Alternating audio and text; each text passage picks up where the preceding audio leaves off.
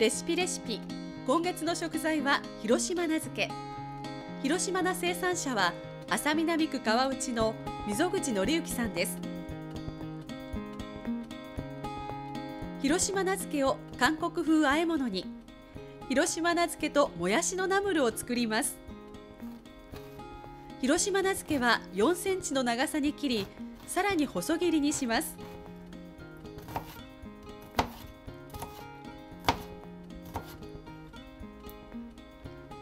大豆もやしは根を摘み取っておきましょう。醤油、砂糖、ごま油、ラー油をボウルに入れみじん切りにしたにんにく、白ネギを合わせます。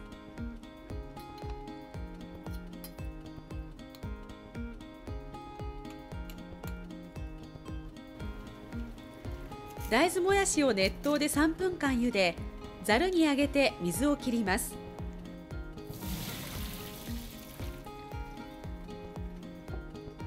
そして調味料とにんにく、白ネギを合わせたボウルに入れ手早く和えます。全体が馴染んだら広島菜漬けを加え混ぜ合わせて完成です。時々上下を混ぜ返しながら半日くらい置いた後が食べ頃です。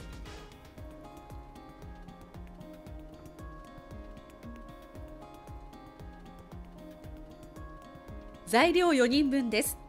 広島菜漬け 100g 大豆もやし 200g にんにく1かけ白ネギ1分の1本醤油大さじ1砂糖小さじ2ごま油大さじ1ラー油小さじ1から2です。